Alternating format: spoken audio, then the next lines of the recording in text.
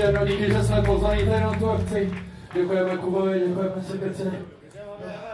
A děkujeme hlavně Ever za to, že jsou skvělý hardcore.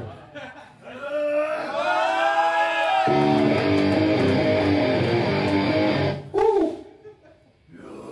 Poslední dva songy a jsou taktéž pro Heaven.